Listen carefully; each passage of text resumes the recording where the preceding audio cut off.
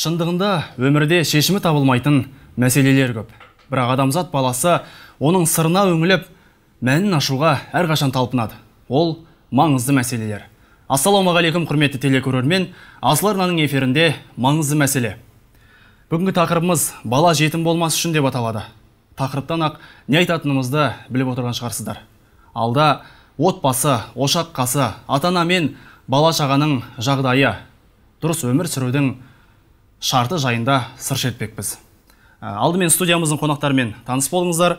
Темірбек бекмағамбетов алматы қаласы алатау ауданы дархан мешітінің бас имамы. Ассалаумағалейкум қасым қасабеков алматы қаласы салихалы ұрпақ қоғамдық қорының директоры. Ассалаумағалейкум студиямызға қош келдіңіздер. Енді мынау ә, жетім мен жесір мәселесі бұл ә, бабаларымыздан келе жатқан ә, бабаларымыздан назардан бабаларымыздан келе жатқан назардан тыс қалмаған дүние. Енді біз әңгімемізді бастамас бұрын алдымен осы жетім деген кім? Сол сөзге тоқталайық. Негізінен ә, деген өзге шариғат ә, терминге келіп қарайтын болсақ бұл ә, біріншіден ә, әкесі де анасы да қайтқан бала болып есептеледі екіншіден әкесі қайтып бірақ анасы тірі қалған бала жетімдер қатарында жатады да шариғат үкімі бойынша. Жалпы бұл етім жайында алла субханала тағала құрани кәрімде жиырма үш аятында айтады. Ол жиырма үш аятты үш неге бөлсек болады біріншісі яғни сол жетімдерге жақсы қарым қатынас жасау оларға қолынан келгенше игілігін жасау жақсы көру екінші олардың әлеуметтік қоғамның алдындағы міндеттері үшінші сол жетімдерді асырап алған кезде олардың байлығының оларға тиістілі яғни айтқанда мирасы жақсы бұл мәселені тағы да әзір әңгіме барысында толықтырып өтеміз.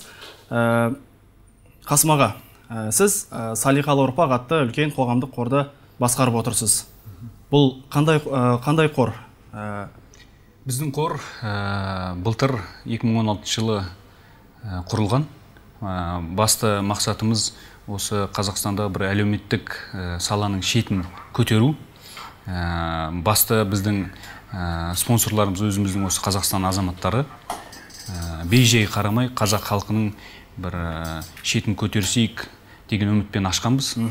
Ә, үш төрт негізгі мынандай м, маңызды ә, бағыттарымыз бар.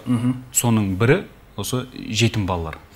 Яғни ә, қазақстанда әкесі жоқ не шешесі жоқ не тұл жетім ә, балаларды асырай алмай жатқан әртүрлі жағдайлы себептермен байланысты ә, бізге тапсырады. Біз уақытша оларға ә, баспана киім тамақ ә, қамтамасыз етеміз? Тегін. тегін.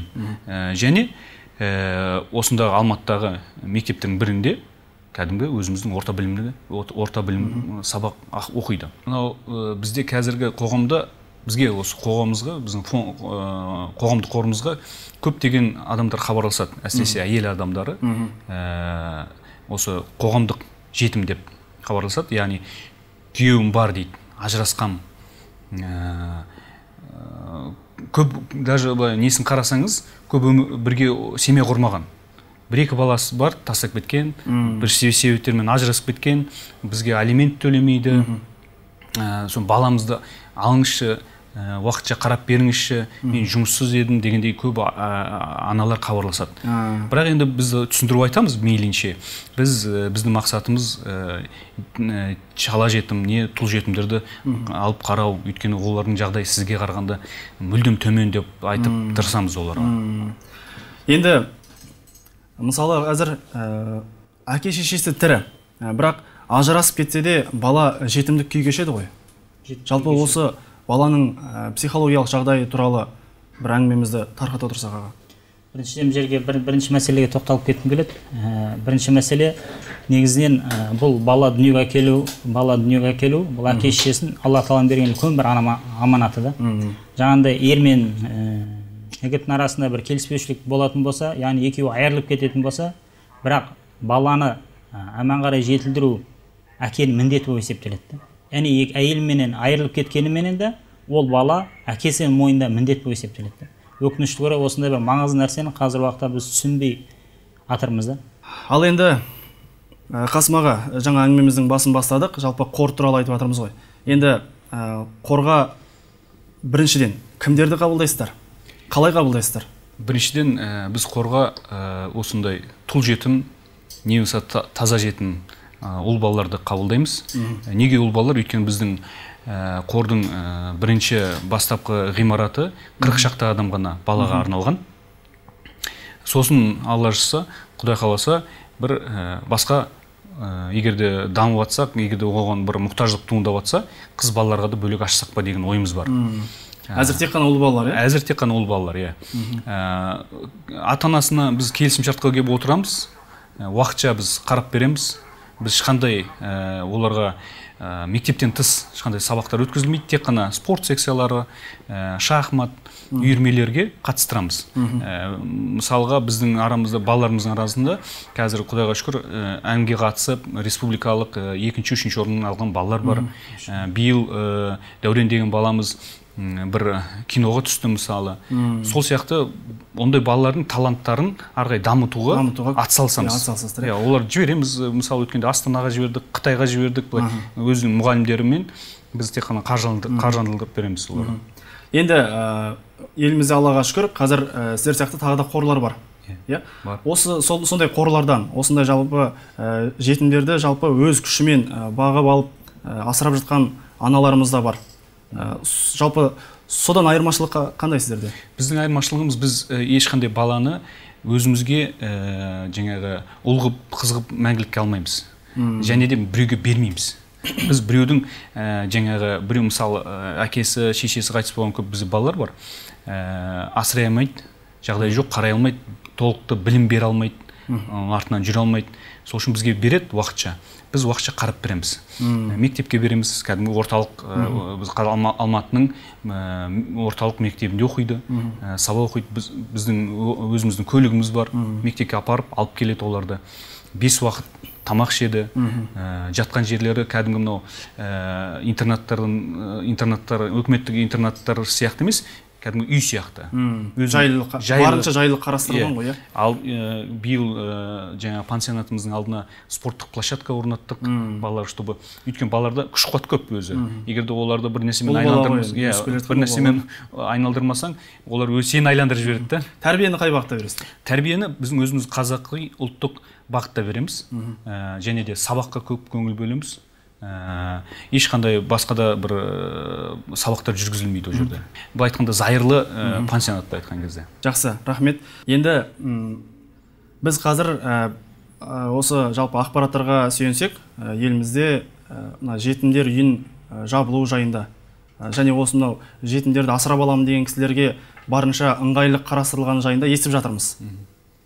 Осы мәселе төңірегінде әңгіме қозғап отырсақ. Иә қазір ә, жалпы ә, мемлекетте елбасының тапсырмасы бойынша мен білуімше 2018 жылға дейін ә, бүткіл мемлекеттік ә, жетім ә, детдомдар дейді ғой мына интернаттар жабылу тиіс. Ә, кейбір жерлерде алматы облысында бір жабылып жатқанын естідік. Ә, бірақ ә, ол жерлерде мен білуімше қазір мынау қыз баланы ұл баланы асырап алу үшін интернет арқылы ә, асырап алушы деген үміткерлер тіркеледі. Ә, өзінің бүткіл мағлұматтарын салады. Сосын барып сол жерде мынандай база данных деген бар жетімдердің. Сол тіркелгеннен кейін барып оларға рұқсат беріледі ана балаларды көруге таңдауға. Сосын барып олар ол жерден көріп таңдап определенный бір уақытты белгілейді сол баламен кездесуге. Сөйтіп сол бала или қызбен сол барады да кездесіп ұнаса алып жатады. Оған дейін бүкіл құжаттарын жаңағы базаға тіркеледі. Иә иә. Оған дейін базаға тіркеледі. Рахмет. Иә, бізге ә, хабарласқан көрерменіміз бар екен сұрағын тыңдап алайық ендеше жаңағы қасымға сұрақтар қояйын дегенім жаңағы. Енді зарплатам да көп емес енді елу мың аламын өзім медсестра да жаңағы жетім балаларға хотя бы алла разылығы үшін бір соны бір он процентін аударып отырсам бола ма соны қалай деп сұрақ қояйын дегенім ғой алла разы болсын. Жаңағы аты жөнін естімей қалдық. Қандай үлкен қандай үлкен қандай керемет ниет десек те айтуға болады. Елу мың теңге айлығы. Ә, көмектескісі келеді. Жалпы осы осы сұраққа байланысты толықтырып айтайықшы. Осы сіздерге көмектескісі келген кісілер қалай хабарласады қалай көмек бере алады сіздерге? Қалай Жал- атсалыса алады жалпы біз енді мынау көбіне ә, қазір енді әлеуметтік желі деген дамып кетті ғой. Көбінесе мынау ә, әлеуметтік желі арқылы ә, өзімізді көрсетеміз жұмысымызды көрсетеміз ел білсін көрсін деп. Мәселе мақтаншылықта емес. Мәселе осылай басқа біреулерге үлгі болайық. Басқа адамдар да осындай іспен айналыссын дегендей. Иә. құдайға шүкір бізде ә, өзіміздің ә, қорда журнал бар. Сол журналда әрбір нәрсе тіркеледі. Қалай аталады ол журнал? Ә, садақа журнал деген. Яғни ә, мысалы біреулер келеді де осы жақында ғана кешеңі күні ғана ә, 5 килограмм жаңағы макарон алып келді мысалы. Ә, ол тіркеп қоямыз осында. Ә, болмаса қой алып келеді жаңағы құрбан айтта. Әсіресе көп алып келеді. Бізде тоңазғыш бар өзіміз жасап қойған 20 тонналық ә, тоңазғыш бар. Сол мысалы былтыр құрбан айтта қанша қой сиыр келді сол бір жылға жетті мысалы бізге. Біз сатып алған жоқпыз ә, қой сиырдың етін. Ә, сонымен өтті барлығы. Ә, сол сияқты жаңағы берілетін жаңағы садақалар кейбіреулер жаңағы ә, біздің шотымыз бар ғой. Есеп шотымыз бар. Қайда тіркелген ол? осы қазақстанда біздің қандай шот? А, Кас- каспий банкте Каспий банкте. иә тіркелген. Сол сонда түседі ақша. Біреулер жібереді білеміз кейбіреуін білеміз кейбіреуін білмейміз. Өзі қазақстан азаматтары өзі көмектесетін. Бейғам емес жаңа мына кісіге алла разы болсын деп айтқым келеді. Ә, өйткені елу мың теңгемен соны бір определенный бір сумманы бір беріп тұрайын деген. Иә. Құдайға шүкір сондай, кісілер көп хабарласып жатады өйткені жүректерінің әйтеуірінде бір иман бар ғой әйтеуір бір сауаптан құр қалмайық дейді. Жаңағы имекең айтқан сияқты бір сол жаңағы пайғамбарымыздың айтқан сауабындай бір алайық деген азаматтар көп кездесіп жатады ол, ол кісілер бәріне айтарымыз алла разы болсын. Жалғыз біз сияқты емес бұндай қорлар. Басқа да қорлар бар. Сол, сол кісілер енді осындай жетімдермен айналысса әлбетте ә, жақсы нәрсе ғой. Енді емекең мені түзете жатар бір менің білуімше ә, бір сахабалар айтқан естуім бар сондай. Ә, егер де жәннатқа барам десең ең бір жеңіл жолы сол жетімдерге қара деген бір. Жетімдерге қарай бастап иә сондықтан енді бізде бір, бір ортада бір жүріп сауаптан алып ізгі ниеттің жолында иә. істейсіз ғой шүкір жақсы. Шүкір темірбек аға енді ә, жалпы мына осы жетімді қарайласу жетімнің басынан сипау жетімнің жағдайынан шығу туралы бір толықтырып айтып отырсақ. Ә, пайғамбарымыз саллаллаху алейхи ә, хадистерінің бірінде ә, жетім асырап алған үй берекелі үй. Жетім асырап алған үйден қуанышты үй жоқ. Ал ең ә, қасіретті ең ә, жаңағындай қасіретті үй ол ә, жетімнің обалына қалған жетімді жылатқан үй деген сияқты хадистер жеткен екен біздерге. Енді ә, осы осыны тарата отырсақ осы жетімге қарайласу ә, жетімнің жағдайынан шығу жетімнің басынан сипау ә, қаншалықты бізге пайда келеді мысалы кейбір кісілер ә, бизнес бастағысы келеді. Ә, мысалы үлкен бір ә, жаңағыдай бір тәуекелдікпен бір іс, іс бастайды. Осындай адамдарға осылай бір жетімдерге қарайласу арқылы ә, жолын ашуға мүмкіндік бола ма? әрине бұл ә, алла субхана тағала құранда да пайғамбар мұхаммад саллаллаху алейхи вассалам хадис, шери- хадис шерифтерінде де көптеген айтылып кеткен нәрселердің біреуі. Арғанда да біз алла тағаланың ризалығын қалайтын болсақ жетімдерге жақсы қарайласуымыз керек та. Бұл дүниеде біз сауапты амал іздейтін болсақ ең болмағанда жетімді асырап алмасақ та бар басынан Сипап, қолымыздан кел келген мейірімізді төгіп қарайласатын болсақ оның өзі үлкен сауап болады. Ал егер әрине жағдайымыз болып мүмкіншілік болып жататын болса оны жаңағындай асырап алатын болсақ ол жаңа пайғамбар мұхаммед саллаллаху алейхи вассаламмен жәннаттың ішінде бірге болатындай үлкен сауапқа игілікке мхм. жақсы рахмет. Ә, бізге хабарласқан көрермен бар екен. Ассалаумағалейкум құрметті көрермен. Ә, біз сізді тыңдап отырмыз. Сауалыңызды қоя беріңіз. Алло саламатсыз ба? Сәлеметсіз бе? Аха бізде сол э, жаңағы үй- үйіміз семьямызда жаңағы жеңгеміз балаларын тастап кетіп еді. Алло? Айта беріңіз тыңдап отырмыз тыңдап отырмыз. Жаңағы мен жаңағы семьямызда жаңағы иә. жеңгеміз баламыз баласын тастап кетіп еді. Мхм. соған шариғат бойынша үкімі қандай болады екен соны білейін дегенмін жақсы рахмет сауалыңызға мхм.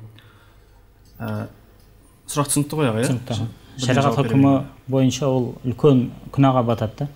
Арғанда да баланы тастап кету ол үлкен күнәға батады. Мана алдымызда айтып өткендей бұл бала деген алла субханала тағала бізге берген үлкен аманаты. Ол аманатын жүгін көтере білетін болсақ ертең үлкен сауапқа кенелеміз да. Мына қазақта да айт- айтады ғой ә, әке шешеңге жақсылық жасайтын болсаң дейді. Ә, алдыңға сол келеді дейді да.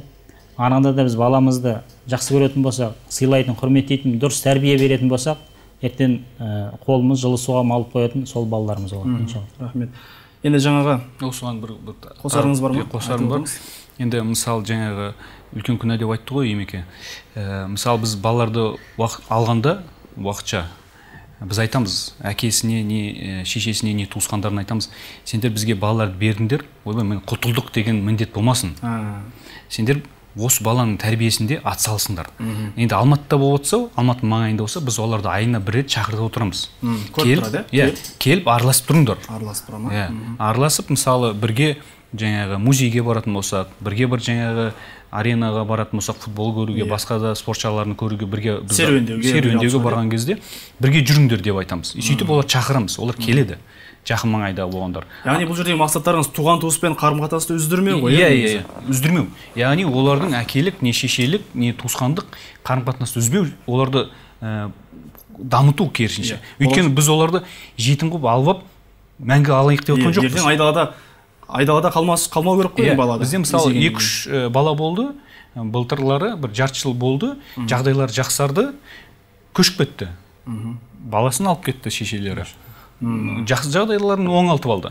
Сөйтіп бізге рахметін айтып кетті мысалы біздікі осындай бір уақытша ғана шетін сондықтан жаңағы ә, жаңағы аналар кейбіреу тастап кетіп жатады біз олар керісінше балалармен қарым қатынасты үздірмеуге тырыстырамыз. Алла разы болсын. Жақсы ниет бұл да енді ә, тағы да тақырыбымызды кеңінен тарата отырсақ ата бабамызда жетім мен жесірін жылатпаған халықпыз деген сөз бар. Бізге ұран болып кеткен бұл сөз иә әзіргі кезде.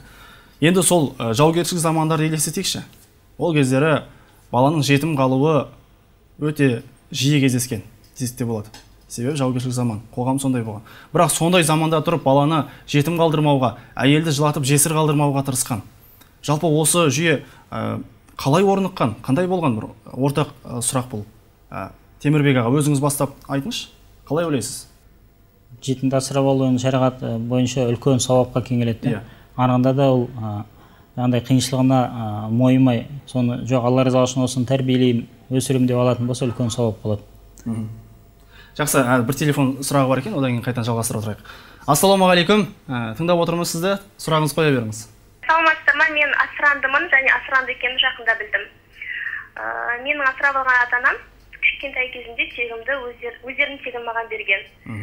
Және жақында бір хадис естідім. Ол хадисті сөзбе сөз білмеймін бірақ айтылған ә, біреудің тегін жабуға болмайды. Біреудің тегін жамылған адам тозақтық деген. Сонда мен біреудің тегін жамылып жүрген адамға саналамын ба? Және ол мен үшін үлкен күнә ма? Ә, және бұл жағдайда мен не істей аламын? Және екінші сұрағым ә, барлық адамдар ә, бұл өмірден өтеді. Сол ә, өлген кезінде ә, жаназа намазында мені ә, қандай қа- қай тегіммен шығарады? Және мысалы болашақта құран бағыштағанда қалай бағыштайды мысалы қан- қандай текті айтып бағыштайды соны білгім келеді. Жақсы рахмет. Алла разы болсын сұрағыңызға. Темірбек аға қазіргі уақытта келетін болсақ балаларды асырап атқан асырап алған кезде көпшілігі жаңағындай өз ат ә, әкесінің атын бергісі бе- беруге тырысады да. Яғни айтқанда мен темірбек болсам мен бір баланы асырап алатын болсам сенің ә, темірбек ұлы деп қоюға тырысады да. Негізінен ол шариғат үкімі бойынша дұрыс емес та. Бұл туралы алла тағала құран кәрімде ә, пайғамбар мұхаммад саллаллаху алейхи вассаламға сөгіс айтылып тұрып айтылған нәрсе да бұл жерде. Сөгіс емес ескерту ретінде пайғамбар мұхаммад саллаллаху алейхи вассаламға айтылған нәрсе да яғни айтқанда шариғат үкімі бойынша біз баланы асырап алған кезде оған өзіміз атымызды бере алмаймыз да. Яғни оның нақты туған әкесінің аты берілу керек та. Енді жаңағы ә, кісі кейін біліп отырмын дейді. Бірақ ә, қалай істеу керек енді? Ол кісіге қандай ә, жол бар? Қандай шешім қабылдауға енді ол жағдайына қарайды егер мүмкіншілік болатын болса жаңа нақты туған әке шешесін білетін болса солардың атына көшкен дұрыс та. А, білмеген жағдай бірақ білмеген жағдайда қала береді. Қала береді. Басқа шешім білмейміз. А енді жаңағыдай асырап алған әке шешесін ол құрметтейді сыйлау сыйлау керек олардың енді жақсы ойменен жақсы пікірменен сондай бір ә, амалға барған шығар да иншалла. Яғни білмеген жағдайда күнәһар болмайды. Күнә қаламайды білмеген жағдайда күнәһар болмайды иншалла. Бірақ енді білгендіктен ә, білген жағдайда ондай амалға бармауға жоқ жаңағы кім екенін тегін білмеген жағдайда күнәһар болып есептелмейді ғой енді? Жоқ ондай есе- есеп есептелмейді осы осы тегімен жүре береді иә? Жүре береді. Қасым аға жаңағы мәселеге қайтадан оралсақ. Бабаларымыздың жолы осы жетімге қарау ә, жесірдің жағдайын ойлау жетімнің басынан сипау бұл біздің ә, бабаларымыздың ізгі жолы осы қалдырып кеткен осы күнге дейінгі бір ә, ұрпақтан ұрпаққа жалғасып жатқан бір ізгі жол. Жетімді жылатпаған халықпыз дейді. Не айтар едіңіз жалпы осы бүгінгі таңмен кешегін салыстыра отырып? Енді қазіргі шындығында қоғам өзгеріп кетті ғой. Өздеріңіз көріп отырсыздар балаларды ә, машинадан лақтыра салу деген оңай болып кетті. Ә, енді құдай сақтасын естіп жатырмыз ғой неше түрлі. Күніге жаңалықтар түршігер дене түршігеді ондай жаңалықтардан ә, енді қоғам соған өзгеріп жатыр. Жастарымыз бұзылып жатыр дегендей әлбетте енді жақсылықтар көп. Бірақ ә, шындықты айту керек осындай ә, жаман жақтары да көп. Сон бірақ енді өзің айтқандай ә, кезінде аталарымыз ондайларды жетім болмаған бізде жетім үйлер болмаған. Ә, бізде енді соның жаңағы былай айтқан кезде соны жаңартсақ па деген ойымызда жаңа ашқан пансионатымыз сол. Ә, қазақ жетімсіз болмасын оны бізге берсін біз уақытша оны қарайық та қайтадан өзіне қайтарайық. Болашақта қазақстанның бір беделді азаматы болсын ол. Бір нәрсеге үйреніп шықсын ол. Біз жаңа әңгімеміздің басында осы жетімдік туралы кеңінен қозғадық. Енді осы салдар барда әрине себеп болады.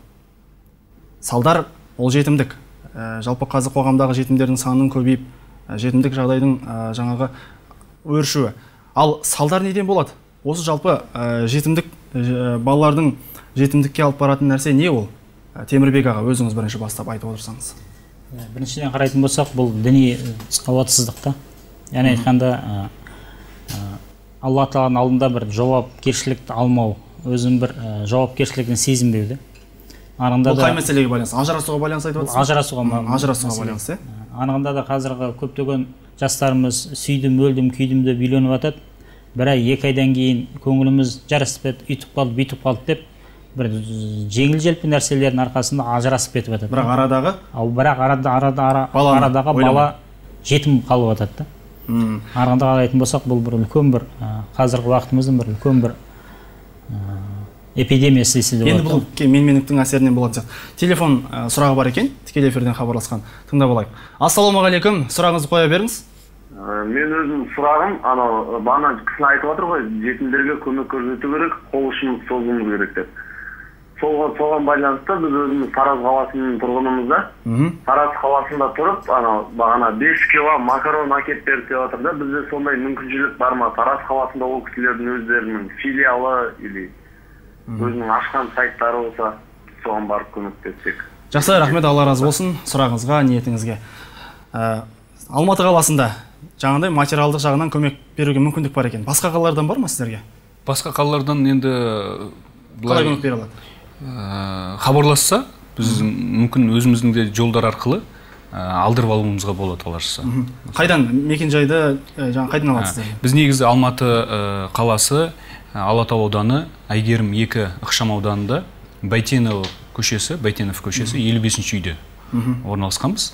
Және де мынау жалпы әлеуметтік желілерде адрестеріміз бәрі бар. Салихалы ұрпақ қоғамдық қоры деп жазса бәрі сонда шығады. Және де мынау тюгис деген программа бар ғой. Сол программада да біздің бүткіл адрестеріміз карта бойынша мекенжай. Иә карта бойынша телефондары бәрі бар. Сайт әлі күнге дейін бізде жоқ енді жаңадан ашылды бір жыл болды. Бірақ құдай қаласа болады әлі. Жақсы. Мінекей құрметті телекөрермен осы мамандарымызбен жаңағы қызметкерлермен хабарласып өз көмектеріңіз, көмектеріңізді берулеріңізге әбден болады. Тақырыбымызды жаңағы әңгімемізді жалғастыра берейік. Салдар мәселесін айтып жаттық қой. Енді қасым аға сіз ә, қаншама баланы көзін жәутеңдеген жанарларды көресіз қара көздерді көресіз. Жалпы осы жетімдік қандай жолдармен қандай неге өршіп кетті бұл? Яғни былай қарасаңыз қазір ә, себептер көп. Ол жаңағы имекең айтқандай жаңағы ә, елдердің жаңағы аманатқа қиянат жасауы жаңағы үйлену мәселесіне ажырасу мәселесіне немқұрайлы қарауы жеңіл қарайды да үйлене салады жаңағы болмайтын нәрселерге ажыраса салады сөйтіп жаңағы ортада бала қалады. Не әкесіз не шешесі қалады. Ә, және де одан басқа мынау ә, мынау көлік апаттары. Өте көп жетімдер осы осы осы жерде қалады. Осы жерден үзе тұрсам аға осы көлік апаттары дейді. Неге осы адамдар ә, былай қарасақ қазір ә, жауапкершілікпен жауапкершіліксіз өз өміріне адам өзі жауапкершілікпен қарамағаннан кейін мысалы әкелер енді көбінесе ер адамдар көлік айдайды ғой. Ә, жаңағы статистикалық мәліметтерде ер адамдардың көбінесе көлік апатынан қаза болатыны ә, айтылады. Осы адам жауапкершілікпен қарамауы артындағы ә, бала шағасын ойламауы бұл қандай нәрсе өзі бұл не өз қоғамдағы осы нәрсе? Жалпы мынау өз өміріне жауапкершілікпен жауапкерсіз жауапкершілікпен қарамауы. Ә, дұрыс емес нәрсе ғой негізі. Әрине бұл ә, дұрыс емес нәрсе. Негізінен ә, пайғамбар мұхаммад саллаллаху алейхи вассалам хадис шерифінде айтады адам баласы өзіне жақсылық қалаған жақсылық басқаларына қаласын дейді. Сонда сендердің имандарың толық болады дейді бұл жерінде түбі келіп ә, тірелетін нәрсе бәрі келіп иманға келіп тіреледі да. Егер де ол өзі иманды болатын болса жүрегінде алла тағаладан бір қорқынышы болатын болса ол жаңа жол жүрген кезде де жол ережесін бұзбауға тырысады да. Өйткені ол біледі ертең алла тағаланың алдында жауапкершілігін біледі. Біледі оның қарсағынан біреулер ә, ә, жаманшылық көретін жапа шегетіндігін біледі да. Үшін бәрі келіп қарайтын болсақ иманға келіп тіреледі да негізінен қазіргі әлеумет ә, қоғамның иманын күшейтетін болсақ көптеген ә, мәселелер өздерінен өздері шешіліп қалып жатады да. Жаңағындай арақ ішіп авария жасау деген секілді. Не болмаса жаңағындай бір ә, тәкаппарлықпен жол жүріп жол ережелерін бұзу. Не болмаса жаңағындай айырылу. Не болмаса жаңағындай себепсіз қатерге тігу. қатерге тігу. Не болмаса біреулерді өлтіру деген секілді. Осындай көптеген мәселелерден ажырасу деген мәселелерден ә, яғни жүрегінде иманы болатын болса көптеген мәселелерден өзінен өзі ғана шешіліп қалушы еді да негізі. Ә, бізге телефоннан ә, тікелей эфирден хабарласқан телекөрерменіміз бар. Тағы да сұрағын тыңдап алайық одан кейін. Әңгімені жалғастырамыз иә. Ассалаумағалейкум құрметті көрермен. Тыңдап отырмыз сізді. Ассалаумағалейкум уағалейкум ассалам мен тараздан звонить едім осы сіздердің о неңіздің жаңағы жетім болып та бір туысқан бір әпкем бар сол бір кісі қайтыс болды да күйеуі басқа күйеуге шықты бірақ ол кісі жаңағы айтпағанда баласы әке әкең кім екен деп ол жаңағы біз осындай елміз деп жүрді біз келіп айтсақ ол балаға осындай әкең осындай деп «Сен әкең қайтыс болып кеткен елің осындай деп балаға қатты кетіп қалмай ма сол сұрақты мхм. жақсы ә, тағы бір телефон сұрағы бар екен. Бірден тыңдап алайық сосын жауап береміз. Ассалаумағалейкум. Ә, сұрағыңызды қоя беріңіз тыңдап отырмыз. Алло. Тыңдап отырмыз сізді. Сұрағыңызды қойыңыз. теледидар теледидардың дауысын басып қойыңыз. Ә, күйеуімнің айлық жалақысы жақсы бірақ бізге асырап алу үшін басында пәтер болу керек және айлық жалақыны кіріс шығысты есептейді екен. Ал менің күйеуімнің жалақысы барлығымыз асырауға жетеді мен уақытша жұмыссызбын. Мен бір бала тағы асырап алғым келеді. Осы асырап алудың қандай мүмкіндіктері бар? Оңай жолдарын айтсаңыз жақсы. Ә, рахмет сауалыңызға. Біз қазір жауап беретін боламыз. Алдымен жаңағы алғашқы хабарласқан бауырымызға енді ол туралы біз жаңа әңгімеміздің басында тағы бір айтып өткенбіз. Тағы да толықтырып өтіңіз кейін қосылған болуы мүмкін. Негізінен шариғат үкімі бойынша ә, баланың нақты туған әкесі айтылу керек та. Ал егер де жаңа қазір уақытта ол айтылмай қалатын болса енді бала кішкене өскеннен өскеннен кейін ақыл тоқтатқаннан кейін барып айтқан дұрыс та. Қазір уақытта ол жас кезінде айтатын болса оның жаңағындай психикасына әсер етуі мүмкін да. Сосын кішкене сабыр сақтап бұл жерде тағы да біздің қазағымыз салт дәстүріне жүгінетін болсақ салт дәстүрімен өмір сүретін болсақ ондай ә, проблема тудырмаушы еді соны білгендіктен атамыз қазақ атам заманнан бері жаңағындай әм- әмәнгерлік Иә, деген иә. бір бұл дұрыс салт дәстүрімізде дұрыс нәрсе да жаңағындай ә, қазіргі уақытта мысалы ол ә, жолдас қайтатын болса не болмаса айырылып кететін болса мысалы ол әйелі кетті баласымен кетті. Яғни айтқанда ол басқа әулетке басқа тәлім тәрбие көріп кетеді да мм. Ал егер де біз жаңағындай біздің бауырымыз деп біздің қанымыз деп ә, жақынымыз деп жанымыз ашитын болса біздің әулетке қалдыруға тырысуымыз керек та иә осы орайда бір пайғамбарымыз саллаллаху алейхи бір ә, керемет дейді бір әрекеті еске түсіп, еске түсіп отыр. Бір айт күнінде мешіттің алдында бір баланың жылап отырғанын көреді ғой Иә, иә. пайғамбарымыз саллаллаху алейхи вассалам баланың қасына келіп не үшін жылап отырғанын сұраса менің анам басқа әкем қайтыс болған еді. Анам басқа адамға күйеуге шығып кетті дейді. Ол айт күніне жаңағы ә, арабтарда бір ә, сондай бір дәстүр бар екен балаларын түйеге мінгізіп ойнататын. Ал ол баланы түйеге мінгізбек түгіл үйден қуып жіберген ғой. Пайғамбарымыз саллаллаху оны естігенде жүрегіне қанжар қадалғандай болады. Содан ә, балаға айтады ғой. Ә, сенің әкеңнің мұхаммед анаңның айша болғанын қалайсың ба деп. Бала кішкентай болу керек. Бірақ сенде түйе жоқ қой деп айтады. Онда кел менің арқама мін мен сені ойнатайын деп кәдімгі баланы арқасына мойнына мінгізіп алып түйе сияқты ойнатты дейді. Бала мәз майрам болып сол кезде қуанған екен. Бұл үлкен бірге біз- бізге бір үлкен бір ә, үлгі болатын дүние ғой қарап отыратын болсақ. Иә онда баланың жаңағы әкенің ә, мейірімін сезінгісі келетінін оны жан жақтан қоғам болып ә, ойлаған дұрыс енді. Енді жаңа екінші сұраққа ә, жауап берсек. Жалпы әзір ә, бала асырап алудың жолдары оңайлады дедік қой. Базалық жүйеге енді дедік. Соны таратып ай- айтып отырсыңыз енді бұл негізі ә, мынау мемлекеттік ұйымдар айналысады бұнымен. Жалпы біз онымен айналыспаймыз. Біз Иә. жаңа басында айтып өткендей. Иә. ә, мынау ә, қоғамдық қор милосердие деген бар. Ә, сосын менің білуімше усыновление точка kz па сондай Иә. не бар? Сайт, сайттар бар. Сол жерлерге қарап көрсе ол мағлұматтар тұрады сол жерде. Өздерінің шарттары бар. Ка- жаңағы бұл кісі айтқандай ә, көрерменіміз айтқандай кірісі бар шығысы бар бәрін есептейді бұлар. Яғни алған бала алған ә, алғалы отырған семья асырай ала ма баланы. Қаншалықты деген өздерінің талаптары бар. Егер талаптарына сай болатын болса қазір жылдам беріледі негізі. Иә құрметті көрермен енді оны ол мәселені бұл өз үлкен жүйедегі мәселе оны арнайы мамандардан барып сұрасаңыздар да болады. Ә, ең басы ниеттеріңізге алла разы болсын дейміз. Ә, жалпы қоғамда міне жетім асырап алғысы келетін ә, жалпы бауырларымыз аға әпкелеріміз бар аллаға шүкір әзір елімізде де жақсы ғой қанша дегенмен.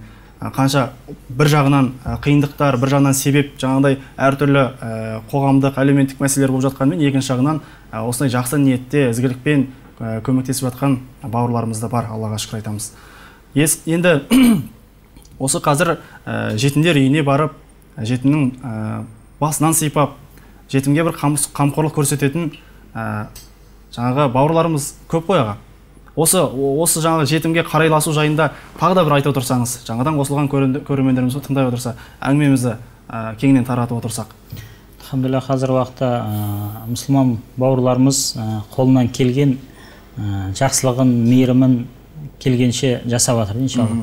Соның бір айта кететін жағдайлардың бірі қазір мешіттерімізде мынау ә, ә, алла қаласа енді ә, қыркүйектен бастап мектеп басталады. Соның алдында әрбір мешіттерден жаңағындай мектепке жол деген біздің қазақстан мұсылмандар діни басқармасының бастамасыменен бір нәрсе қол осындай бір үлкен бір игі шара қолға алынып- алынып жатыр сол әрбір мешіт мүмкіншілігінше жаңағындай ә, әлеуметтік жағдайы төмен оның ішінде жаңағындай жетімдер өте көп та. Соларға қолдарынан келгенше жағдай жасап біреулер ә, школьный формасын алып беріп жатыр біреулер жаңағы спортивный формасын біреулер жаңағындай сумкасын ішінде жабдықтарымен алып беріп жатыр да. Бұлар да жаңағындай ә, шамалар келгенше қол ұшын беріп жағдайын жасап жатыр. Ә, сіз бұл қасым аға сіздерге де қатысты иә? Бұл, бұл, уже жаңағы ме- мектеп жасындағы балаларға қыркүйектен бастап үлкен жаңа көмек қолдары созылады. А сіздер қалай дайындық жасайсыздар? Біз енді міне қазір ә, бізде соған байланысты өзіміздің жаңағы меценаттар уже ақша бөлінді. Ә, балаларға біздің пансионатымыз балаларына түгел киім алу. Соны тек қана балаларымыз күтіп отырмыз о- о- күтіп отырмыз. Біз жаңа айтқандағыдай олар қазір каникулда өздерінің туысқандарының үйлерінде. Ә, және де бір айтып кетейін деген нәрсем мынау өзіміздің ә, мынау қазақ ә, жалпы қазақстандықтарға біздің елбасымыз өткен соңғы үшінші жолдауында айтты да мынау ә, гчп дейді ғой государственный частный предприятие предприятие қосындысы мемлекет пен қоғам жалпы бірігіп көмектесіңдер дейді да. Иә. соны ә, осыда көп атсалысса дейміз да. Және де өздеріңіз білесіздер міне жақында ғана ә, қазақстан мұсылман діни ә, дін агентство министрлігінде ә, корпоративтік қор ашылды. Уақыт деген. Яғни болашақта ә, сол ә, корпоративтік қор арқылы ә, осындай біз сияқты қорлармен мысалы жеке қорлар иә? Иә, жеке қорлармен бірігіп жұмыс істеліну болашақта көзделуде. Осыған мысалы болашақта егер жүйе қойылса тәртіпті түрде ә, мен ойлаймын көптеген жақсы ізгі амалдар істеуге болады. Өйткені былай айтқан кезде ә, мынау біз сияқты қорларды мемлекеттік ә, жаңа елбасымыз айтып отыр ғой ә, мынау неде соңғы ассамблея народов казахстана бұл жиыны болды ғой. Сол жерде айтты ә, бірігіп мына ме- меценаттар мемлекетке көмектесіңдер деді. Осындай әлеуметтік жағдайлар көмектесіңдер деді. Және жаңа үшінші жолдауында да айтты. Мемлекеттік пен жаңағы жеке кәсіпкерлер бірігіп жұмыс істеңдер деді. Сондықтан егер де жергілікті акиматтар ә, райондық болсын қалалық болсын бірге жұмыс істесе мысалы біздің қор оған қарсы емес.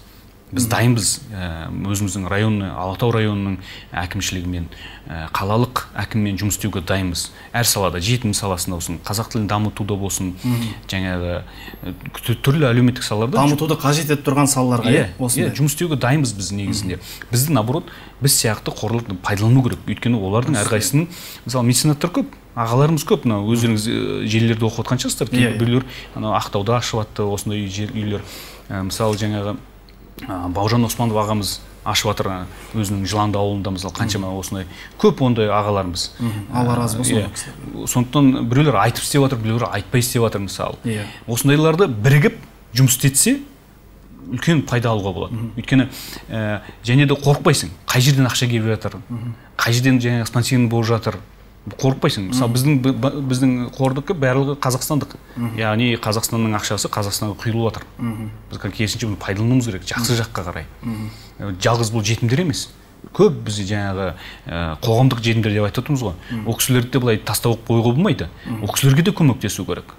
Өйткені ә, жаңағы елу алпыс мың теңге мысалы айлығы болады. отыз мың теңге қырық мың теңгеге арендасын төлейді. Қалған жиырма отыз мыңға қалай өмір сүреді ол? Шыны керек бастапқы кездер біз осымен айналысқан кезде бізге көп адамдар әйелдер әсіресе әйел адамдар көп звондайды. Жүрегің ауырып кетеді ана жерде. Елжіреп кетеді жүрегің ше? Өйткені ана кісілердің жағдайын қарап ә, түсінесің. Осылардың жағдайы төмен екен. Бал- баласын қалай асыра ә, жүре алмайтын. Міне біз міне жақында үшінші шілде мен он үшінші шілденің арасында балаларымызға 30 балаға жинап қазақстанның түкпір түкпірінен ә, лагерь ұйымдастырдық қапшағайда. Лагерь ұйымдастырдық он күндік. Ә, басты мақс- мақсатым- мақсатымыз балалар демалсын дедік. Сабақтан мектептен жаңағы бір ә, өзіміз мысалы кезінде армандадық. Өзіміз ауылда өскен баламыз ғой. Армандадық кезінде артекке барсақ деп. Ал балалар шыны керек өмірінде бірінші рет бассейн көріп тұр да. Өмірінде бірінші рет бассейн көріп тұр. Бірінші рет суға шомылып жүр аналар. Сондықтан көбісі ана жерде суға шомылуды үйренді. Қапшағай көліне түсуді үйренді. Балық ауладық дегендей балық жедік. Әртүрлі ойындар жүргіздік ана жерде. Күніге сағат таңғы сағат сегізден кешкі сағат онға дейін тынбай программа. Қалай а- таң атып кеш батқан білмей қаласың. Сондықтан ана балалардың қуанғанына қарап біз қуанамыз.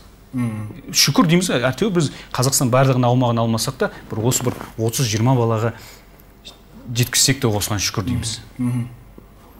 Алла береке берсін.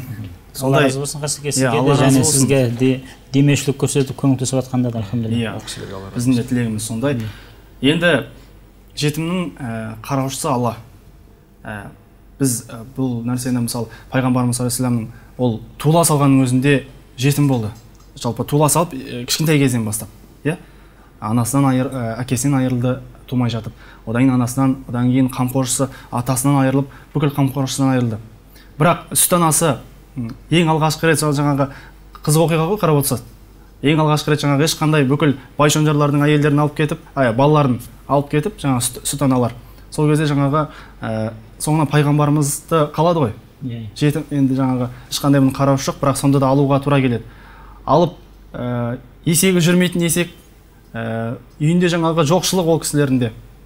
Ә, сонда ә, алғаннан бастап сол сәттен бастап есегі сондай бір жүйрік болып басқа елдердің есектерін озып кетіп үйіне келетін болса жаңағы ешкілері күндегіден әлдеқайда көп сүт беріп сөйтіп береке тартады. Ал енді бұдан алатын біз қандай ғибрат аламыз? Қарап отыратын болсақ бұл жетімнің ә, жетім асырау бұл берекетті арттырады деген ұғымға да әкеледі екен аға. Енді ә, аллаға шүкір ә, біздің мінекей бір сағатта уақытымыз өтіп кеткен екен.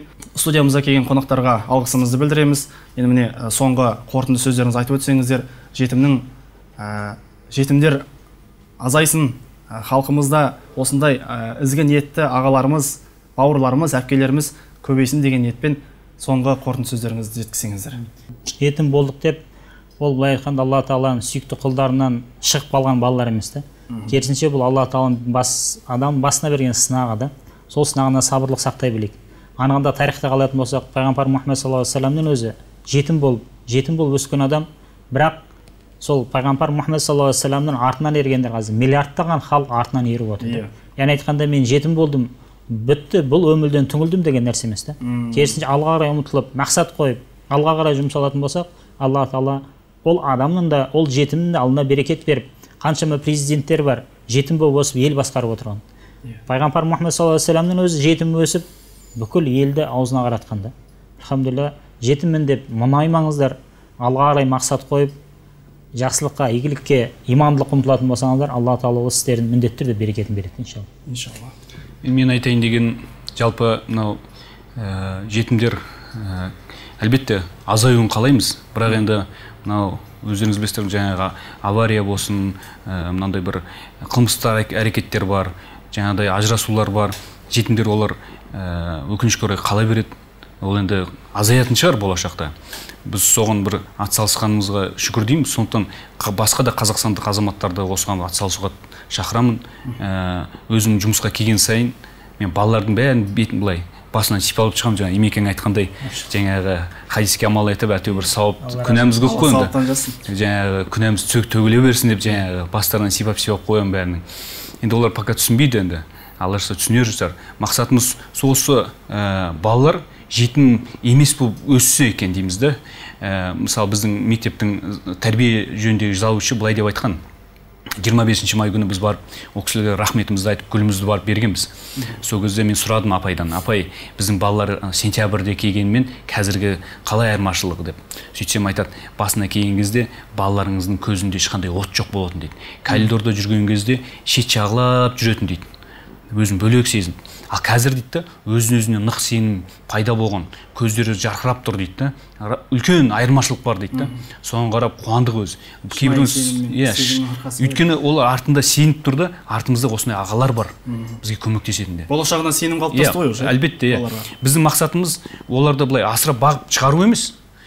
Асырап бағып болашақта қазақстанның бір азаматы болсын екен.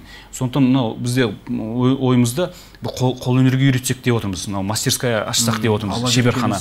қолына жаңағы ағаштан темірден сваркілеу нәрсені машинаны жөндеу деген нәрсені үйретсек деп отырмыз. Өнер үйреніп иә өнер үйреніп өйткені өйткені ол бітірген кезде мынау статистика бойынша аружан сайын қоғамдық қайраткер бар ғой. Сол кісімен сөйлескен кезімізде ол кісі айтқан жетпіс процент мемлекеттік детдомдан шыққан бала ұл қыз болсын. Ол бұзылады екен. Яғни түрмеге түседі алқаш болады қыздар жаман жолға түсіп кетеді деген жетпіс процент. Ол статистика бұл өтірік емес. отыз проценті ғана адам болып шығады екен да. Біздің мақсатымыз сол жаңағы шыққан бала біздің пансионаттан шыққан бала ол қазақстан азаматы болып шығу керек. Үлкен бір беделді адам болып шығу керек. Ертең ол да бір амал әрекет жасап елге қызмет еткен азамат болсын. Жақсы тілектеріңіз ниеттеріңіз қабыл болсын. Мінекей құрметті көрермен жетімге қамқор болайық. Ә, жетімдердің ә, жағдайын жасайық. Ең бастысы жетімсіз қоғам болайық. Ә, жетіммін деп балаларымыз жасымасын. Әр қазақ бір қазақ. Әр ұлттың барлығымыз адам болып жаралғаннан кейін адам адамға жанашыр дейді. Ендеше жетімді қамқор болып қоғамға өзінің ізгі ниетімен пайдасын тигізген ағаларымызға алла разы болсын дейміз. Құрметті телекөрермен біздің хабарымыз осымен өз мәресіне жетті. Келесі кездескенше аман сау болыңыздар.